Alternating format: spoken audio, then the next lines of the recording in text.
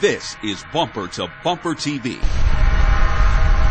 The Kia Forte was originally introduced to the North American market as a sedan with a coupe variation that appealed to those who wanted performance-oriented compact which was easy to modify.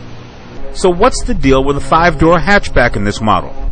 Well, it seems that outside of the Western Hemisphere, the world likes these small, sport-oriented wagons. So it wasn't a big risk for Kia to introduce it to this market. Wisely, the company opted not to tinker with the mechanics of the Forte. A peek under the hood, and you'll find the expected 2-liter 4-cylinder motor delivering 156 horsepower and 144 foot-pounds of torque. For the driver who wants more performance in his Forte, there is the 2.4-liter engine with 173 horsepower yield and a torque rating of 161 foot-pounds. The transmission package is the same front-wheel drive, six-speed automatic or manual that has become a Kia signature gearbox. But size does matter for this barely compact platform. There's a difference in what we've come to expect.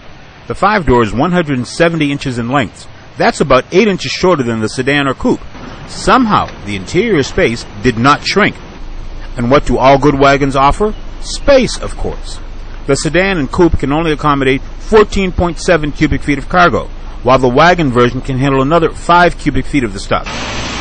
We found that handling is not much different than the sedan, since they both have the same 104 inch wheelbase. Interior noise levels were a little higher, which is no surprise considering the volume in the cabin.